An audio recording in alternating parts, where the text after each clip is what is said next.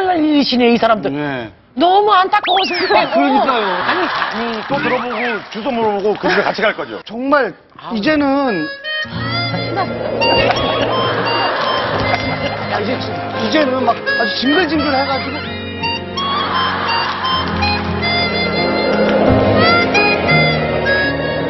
그- 아니 근데 진짜 이게 노이로제 걸릴만 해요. 그러겠어요. 왜냐면 그 딸을 키우는 부모님들은 그러니까 얼마나 야, 걱정해. 만약 우리 딸이 저런 그럼요, 일 그럼요. 많이 겪게 되면은 이게 심장이 진짜 벌렁벌렁하죠. 음. 지금 어머님하고 아버님이 나와 계시네요. 예. 안녕하세요. 딸 때문에 이사를 지금 세 번 갔어요. 아, 이런 일 사건 때문에요? 예. 연립에 살다가 그런 사건이 나가지고 어.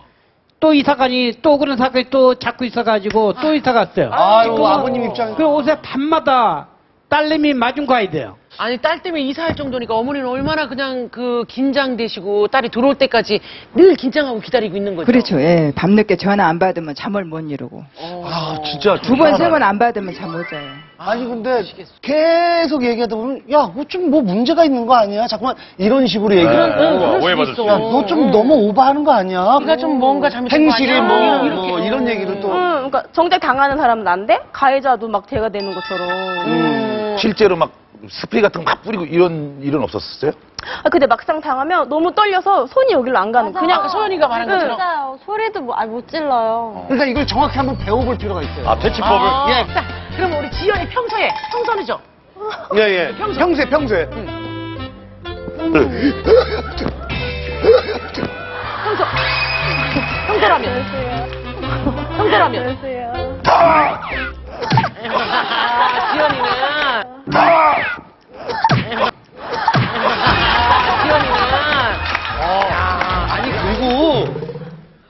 당신이 좀. 바바리맨이 뭐 바바리맨이 무슨 무슨 세상에 어떤 바바리맨 여기서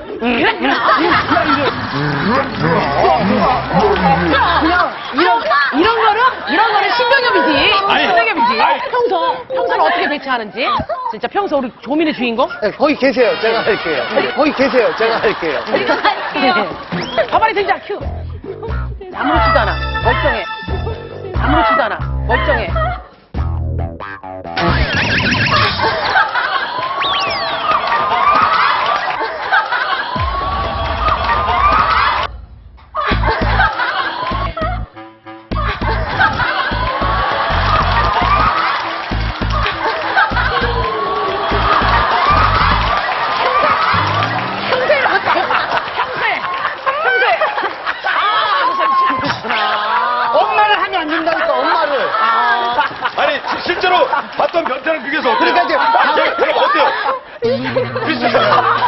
아니 그러니까 지금 지금 진짜 이거 혹시 보고 계시면 여성분들 이걸 외워야 돼. 입력시켜야 돼요. 아버님 표정이 안 예. 아버님. 그러니까 아니요 전문가들이 얘기하는 건 그냥 못 본 척하고 지나가는 거예요. 무관심. 시작. 그지 같아.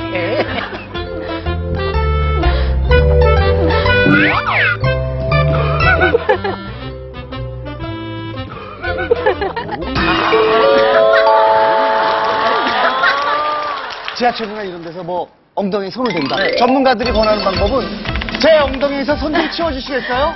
네, 이렇게. 그러니까 이영자 씨가 해야죠. 이영자 씨가. 이영자 이영자 씨가 씨가. 해야죠. 저희가. 손을 대면. 예. 예, 예. 엉덩이는 만질 수 있는 분 이영자 씨밖에 없어요, 여기서. 그러면 제, 저를 해요. 제가. 예? 이영자 씨가 이렇게. 엉덩이 좀 치워주세요! 엉덩이 좀 치워주세요! 제 손에서 엉덩이 좀 치워주세요! 엉덩이 치워주세요!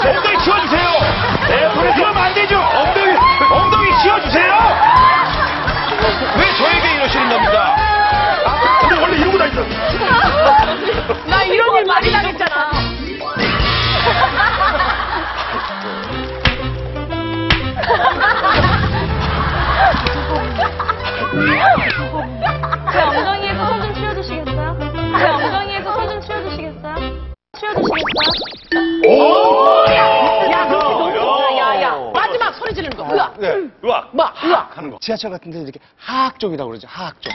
그런 분들에게는 그냥 뭐라고 그래? 소리를 질러야 돼. 아, 그때 소리를 질러야 돼요. 예. 아니 지금 아니, 지금. 이불에요. 아니 왜 코를 자꾸만. 아, 제 귀에서 코 좀 빼주실래요? 아, 제 귀에서 코 좀 빼주실래요?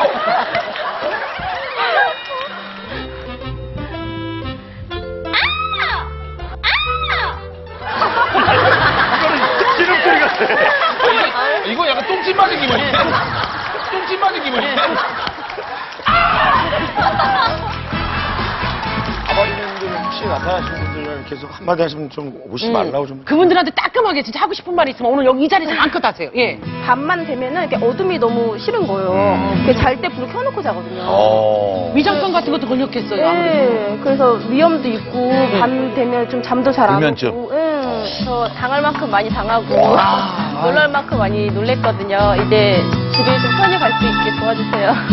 아. 예. 고민. 고민이다. 아. 지연이.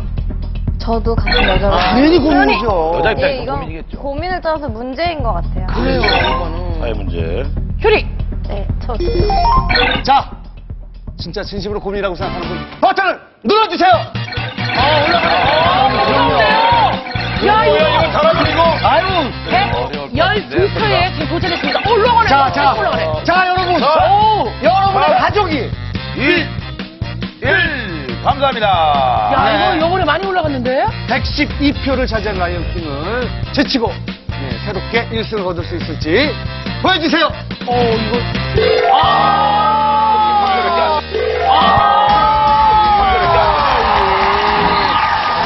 경험이 없으신 분들이 공감을 못 하셨어요. 예.